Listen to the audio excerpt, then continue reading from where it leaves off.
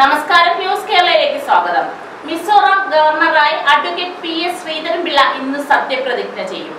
P S ശ്രീധരൻപിള്ളയുടെ കുടുംബാംഗങ്ങളും അടുത്ത സുഹൃത്തുക്കളും ഉൾപ്പെടെ മുപ്പതോളം പേർ ചടങ്ങിൽ പങ്കെടുക്കാനായി കേരളത്തിൽ നിന്ന് എത്തിയിട്ടുണ്ടെന്നാണ് റിപ്പോർട്ടുകൾ ദേശീയ സെക്രട്ടറി സത്യകുമാർ സംസ്ഥാന general secretary M D Ramesh സംസ്ഥാന മുൻ സെക്രട്ടറി രാധാകൃഷ്ണ മേനോൻ എന്നിവർ ചടങ്ങിൽ പങ്കെടുക്കും.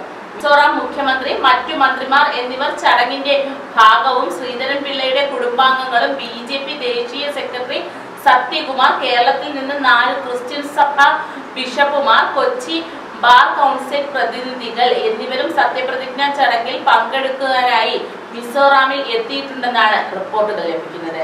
ബി ജെ പി നേതാക്കളായ അൽഫോൺസ് കണ്ണന്താനം എം ഡി രമേശ് എന്നിവരും ചടങ്ങിൽ പങ്കെടുക്കും. കഴിഞ്ഞ ദിവസമാണ് ശ്രീധരൻ പിള്ള മിസോറാമിൽ എത്തിയത്.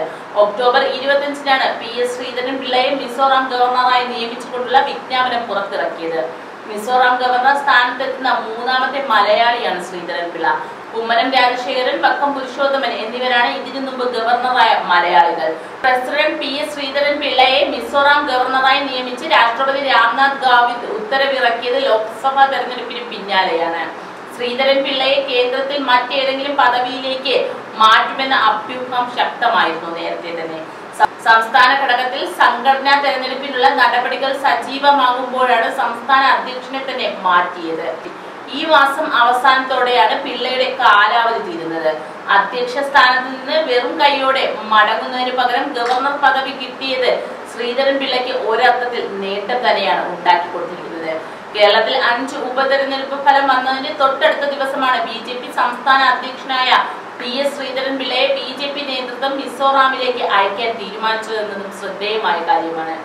എന്നാൽ ആരാകും ശ്രീധരൻ പിള്ളയുടെ പകരക്കാരൻ എന്ന ചോദ്യമാണ് ബി ജെ പിയിൽ ഇപ്പോഴും തുടരുന്നത്.